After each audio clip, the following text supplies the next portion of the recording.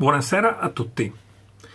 Continuiamo questa carrellata sulle batterie a litio, che ho visto che c'è stato molto interesse, mi avete scritto in tanti, mi avete fatto tantissime domande e quindi ho deciso di approfondire l'argomento. Oggi parleremo come mantenere nel miglior modo possibile le nostre batterie a litio. La premessa è che non sono uguali alle batterie al piombo. Per batterie in piombo intendo tutti i tipi di batterie che si usano nelle auto, per esempio, o per l'avviamento dei motori, che siano AGM o che siano del tipo normale o che siano come le Optima, cioè con le celle rotonde. Sono tutte batterie al piombo con acido e devono essere mantenute e usate in un modo diverso rispetto alle batterie al litio che tra l'altro durano anche tanto, molto, tanto di più. Le batterie al piombo devono essere sempre caricate alla fine dell'uso, possibilmente il prima possibile, e vanno mantenute a una tensione di carica che equivale praticamente al 100% della carica della batteria.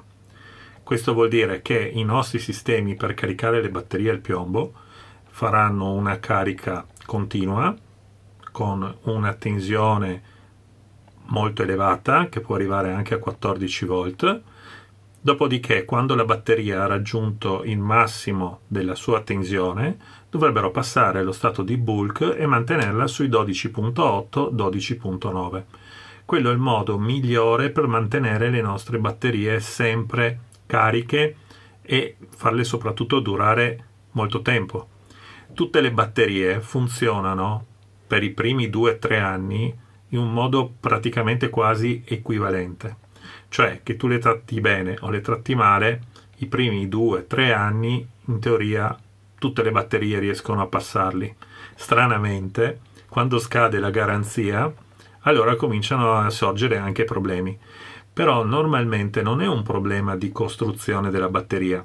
Ovviamente stiamo parlando sempre di batterie che hanno una buona qualità il problema spesso è dovuto alla nostra mancanza di cura di queste batterie.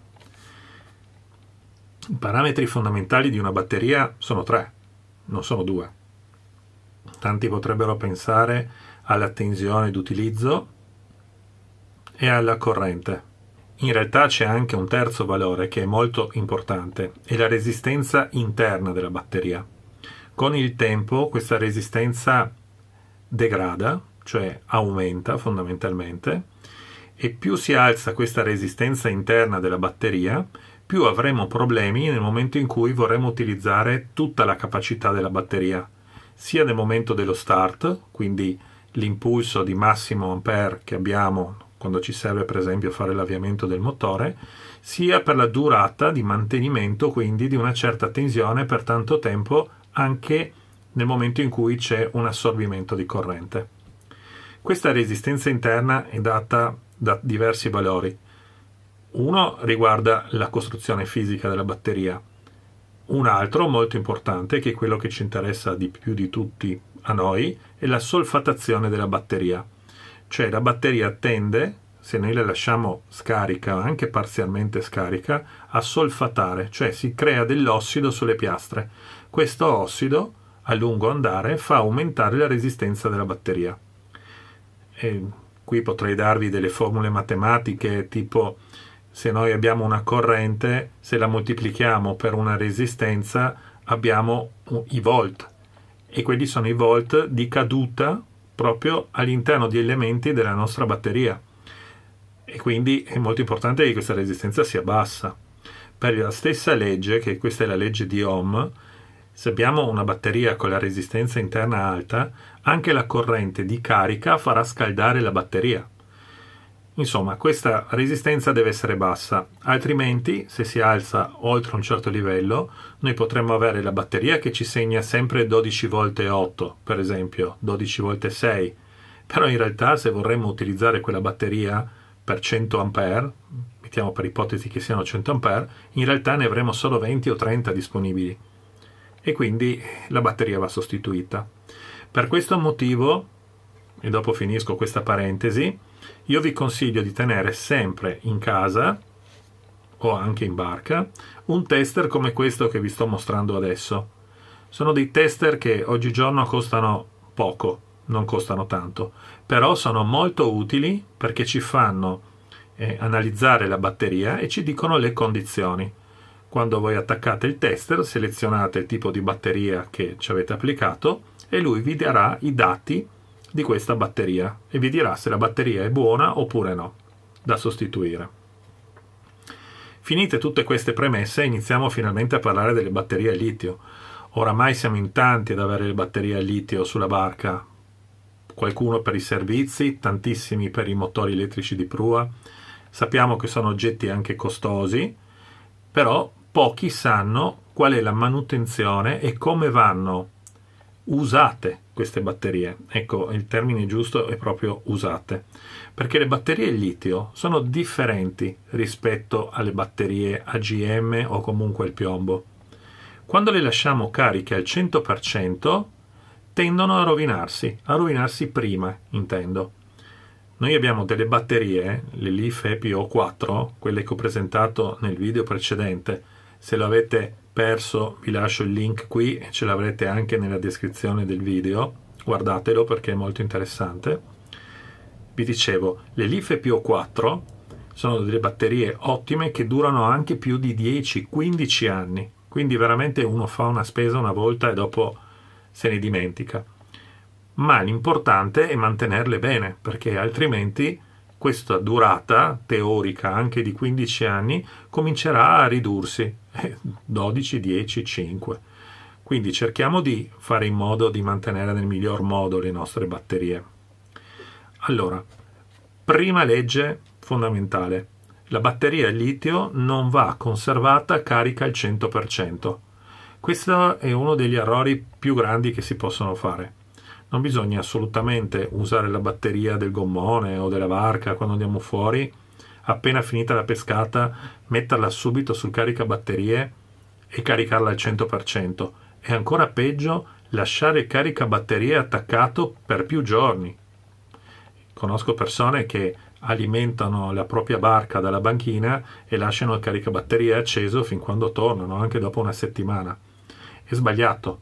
È sbagliato perché le batterie a litio vanno caricate al 100% almeno una volta ogni 3-4 mesi soprattutto se le stiamo utilizzando abbastanza, però normalmente sarebbe meglio tenerle tra l'80 85% di carica.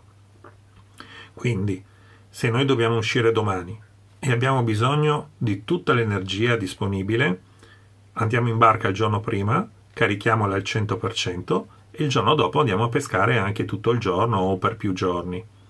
Se la batteria la scarichiamo all'80%, non carichiamola subito quando torniamo in banchina. Lasciamola così. Se arriviamo anche al 60, al 50, al 40%, lasciamola così. L'andremo a caricare solo il giorno prima di andare in barca. Se invece non abbiamo la possibilità di andare in barca, per esempio il giorno prima, possiamo caricarla, ma non carichiamola al 100%, fermiamoci all'80% le batterie vanno, diciamo, dimensionate secondo l'utilizzo che noi facciamo e presto arriverà un video anche su come vanno dimensionate le batterie, anche questa è una cosa che mi chiedete in tanti. Cerchiamo di prendere le batterie che abbiano almeno un 20-30% di capacità in più rispetto a quello che effettivamente ci serve, altrimenti avremo il problema che non ci basterà più quell'80% di capacità per fare tutto quello che dobbiamo fare, giusto? Bene. Adesso parliamo un attimo del caricabatterie. Anzi, parleremo di due caricabatterie. Tre caricabatterie. Il primo, il più importante, è quello che noi utilizziamo fisso, che va alimentato con la rete a 220 volts.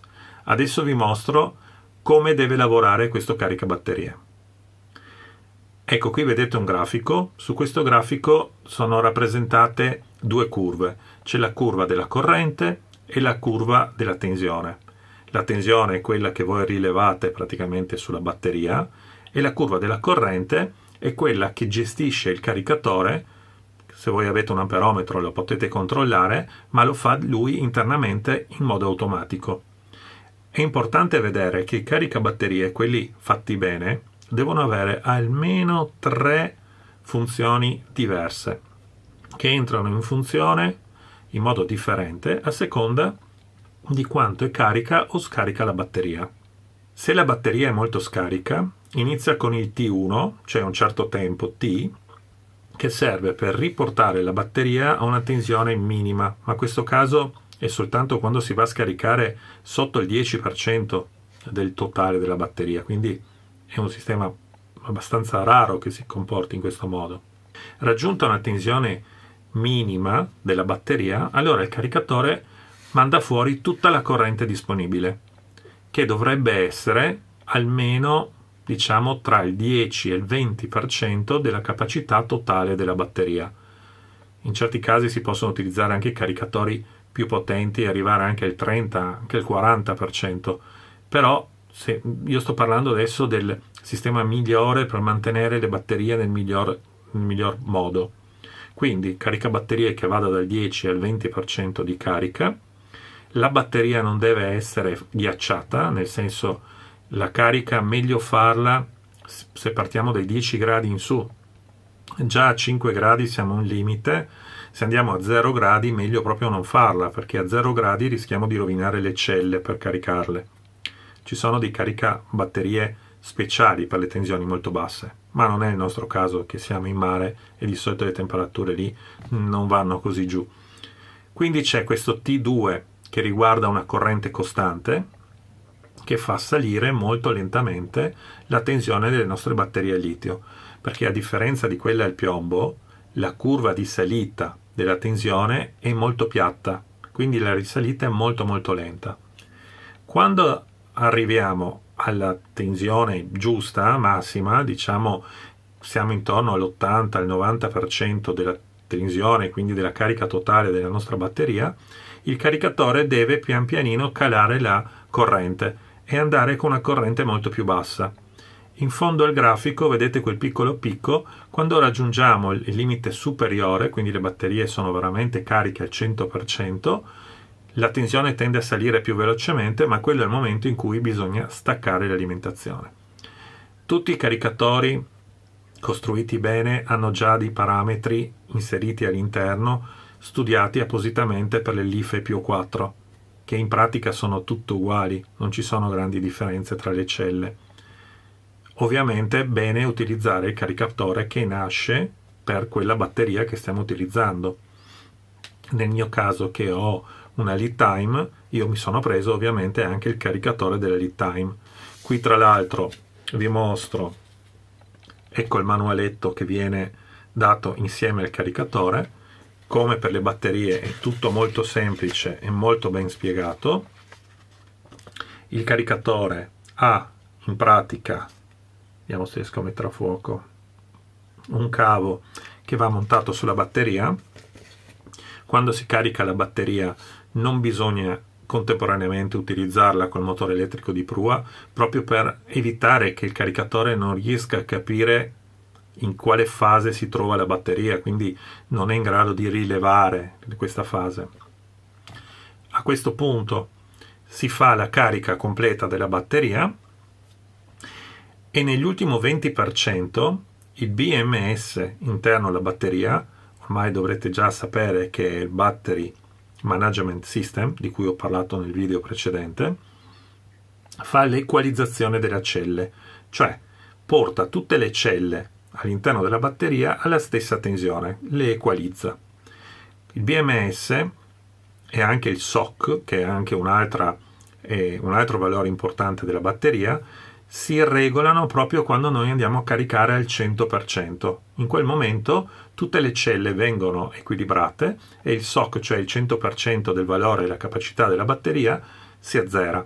Se noi utilizziamo la batteria sempre in un range tra il 30 e l'80%, il nostro BMS lavorerà male, cioè non riuscirà a fare bene l'equalizzazione e il valore di SOC non sarà più preciso, perché come funziona il SOC? Praticamente io arrivo a fondo scala, cioè so che la batteria carica il 100%, se ne accorge sia il caricatore che il BMS, a quel punto gli scrive 100% e dopodiché calcola quanta corrente sto utilizzando e quindi pian pianino quel valore scende ovviamente a una certa precisione. Se io sto all'interno del range del 20-30% fino al 60-80%, a lui gli manca un, diciamo di fare lo zero. Quindi in realtà nel tempo può cominciare a dare valori un po' sbagliati.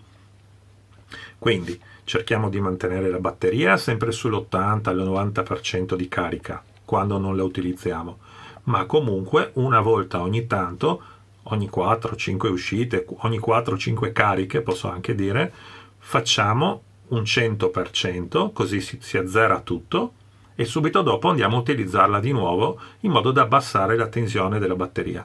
E non la lasciamo carica e la magari la lasciamo a bordo carica per tanto tempo.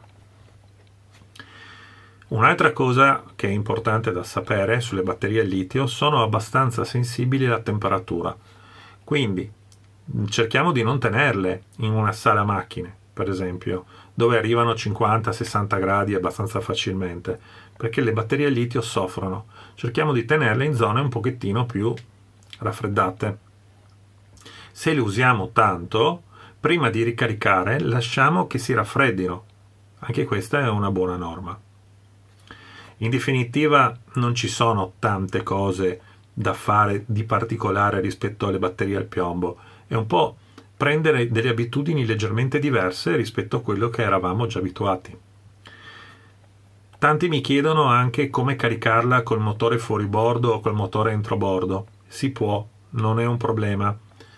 Adesso uscirà, proprio una questione di qualche giorno, un ulteriore video su cui vi spiegherò e vi mostrerò l'impianto corretto per caricare la batteria anche col vostro fuoribordo o col motore entrobordo, sia per salvaguardare la batteria che anche per salvaguardare l'alternatore del motore, perché anche lì ci sono diverse cosette che bisogna sapere. Per quanto riguarda la carica solare, si può fare, bisogna avere caricatori solari che nascono per le batterie al litio e anche lì ci sono delle cose che bisogna conoscere proprio per evitare di andare a rovinare in breve tempo questo bellissimo oggetto che secondo me sarà il futuro. Io penso che fra qualche anno quasi tutte le barche utilizzeranno questa tecnologia e avranno queste batterie perché i vantaggi sono veramente enormi da tutti i punti di vista, soprattutto per la sicurezza di avere la batteria sempre funzionante almeno per tanti anni. Quante volte io personalmente sono andato al mare con la mia barca o anche sulla barca di amici e proprio nel bello della vacanza si è rotta la batteria, abbiamo dovuto cercare un posto dove sostituirla, mille problemi, senza parlare di tutto il peso che uno si deve portare sempre dietro. Tutto questo ormai fa parte un po' della storia, la tecnologia è andata avanti, abbiamo delle batterie che adesso cominciano a essere molto performanti e a prezzi contenuti. Quindi perché non approfittare? Bene, anche questo video l'abbiamo fatto, vi aspetto sul canale per vedere la terza parte che riguarderà appunto il carica solare e il carica batterie al litio che va a gestire diciamo la batteria direttamente dal nostro motore fuori bordo o entro bordo. Ciao ragazzi!